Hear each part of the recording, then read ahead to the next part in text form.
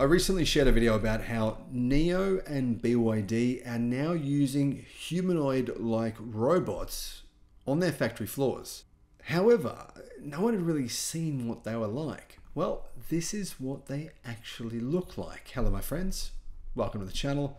I'm Sam Evans. You're watching the Electric Viking, and actually, they look exactly like me. They've basically cloned me, and there's like thousands of electric Vikings running around in NIO's factory and BYD's factory just doing everything now. It's weird. I don't know why they chose me. I mean, I'm a weird looking guy.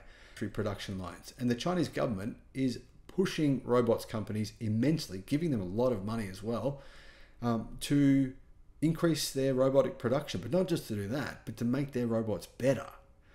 In other words, these robots that NIO and BYD are using and other car manufacturers apparently as well are going to improve significantly with this huge influx of cash going to these robots makers. China is saying it is racing to take global the global labor market, which is what Tesla wants to do. It's like a race between different companies. They want to have a billion robots, seriously, um, and yeah, be manufacturing everything worldwide using these robots.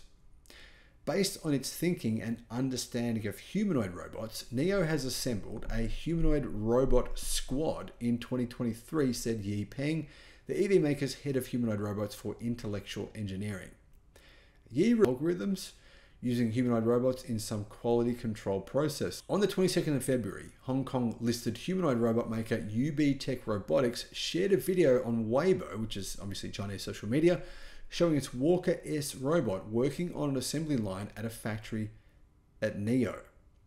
In the training session, the Walker S utilizes the real-time image capture and transmission capabilities to participate in quality inspections of door locks, seatbelts, headlight covers, and can affix vehicle identification according to the video.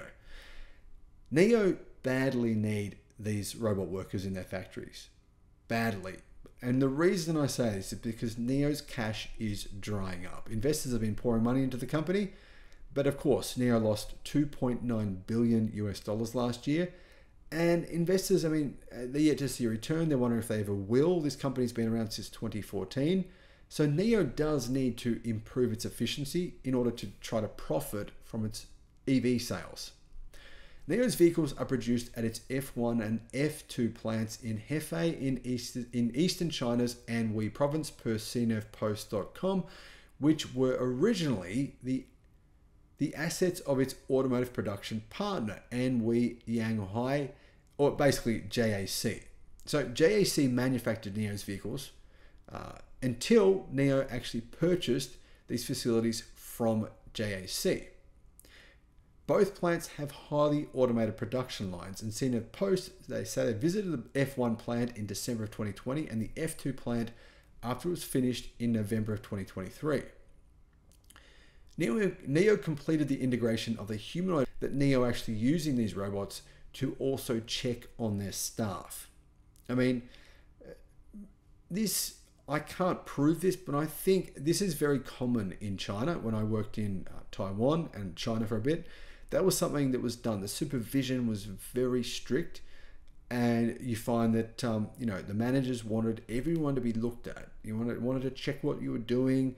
So I think NIO might be using these robots also to check all the processes of all staff to make sure they're all doing everything efficiently, etc. I want to work out what they might be able to improve in a certain staff member's um, possibly in what they're doing in the production line, how to speed things up, and then, you know, how to replace them eventually. Traditional industrial automation in the automotive sector has struggled to address the increased demand for smart manufacturing in automobiles, according to Yi. In other words, NIO is saying at some point in the future, they'll have almost no staff on the floor. They'll just be robots. That makes sense, and I think we all expected this to happen, but maybe just not so quickly. Yi believes it will take a while for humanoid robots to achieve complete widespread adoption, though.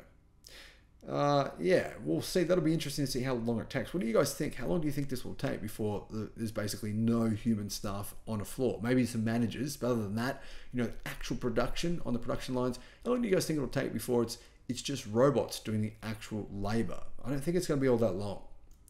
The commercialization of humanoid robots in automotive manufacturing driven phase, the overall adoption scale of humanoid robots, including the level of, of embodied intelligence, will play a decisive role. Yi says that in automotive manufacturing, logistics handling, parts assembly, quality inspection, and currently more appropriate scenarios for human are currently these are all currently more appropriate scenarios for humanoid robots. Uh, that covers a lot, right?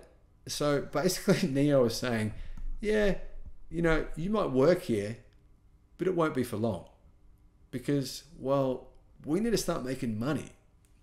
Now, I understand where NIO coming from, um, but this is going to lead to kind of an interesting existential crisis when robots replace humans. What are we all going to do? Thanks for watching.